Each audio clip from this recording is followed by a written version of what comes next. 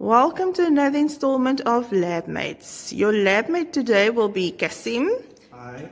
And he's going to show you experiment 1 and experiment 4 of intermolecular forces. So for experiment 1, we are going to do evaporation.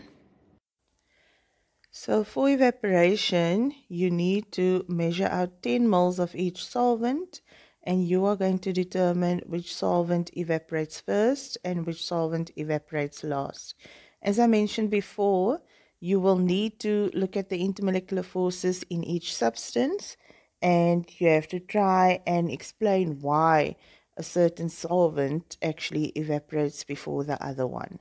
So Kasim has now added 10 moles of nail polish remover and 10 moles of ethanol He's now added 10 moles of distilled water and finally 10 moles of methylated spirits.